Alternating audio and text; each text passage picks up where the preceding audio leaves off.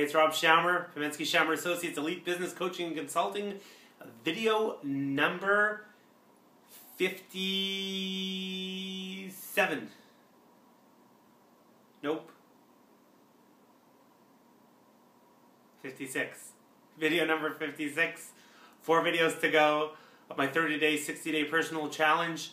I don't know if these videos are getting better, more entertaining, how I've changed. I guess we'll see at the end on day 31 when I look at video number one and video 60. Um, I wanted to share an idea of walking your talk.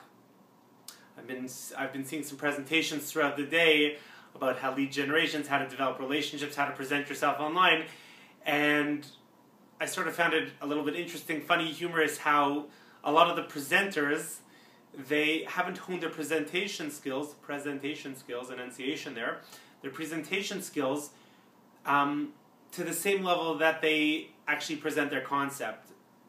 Presenting a model for marketing online with videos and sign ins and lead generation and all these different pages is very impressive, but sometimes their presentation um, method, their approach to how they presentation, their comfort with it was so flawed that it really took away from the presentation. There was one guy that was presenting that had a very cool product, social product you can create a video, and within the video, it markets your product, and it's a portal for marketing your product, and you can also fill out a form within the video. It pops up within the video, it's all embedded.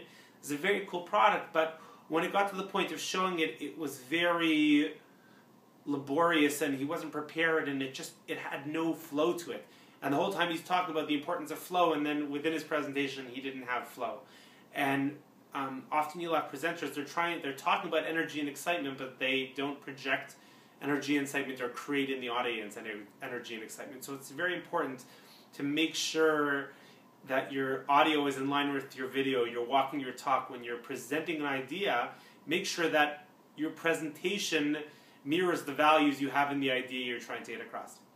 That's my thought i want to share with you. Have a great evening and we'll speak to you tomorrow. Bye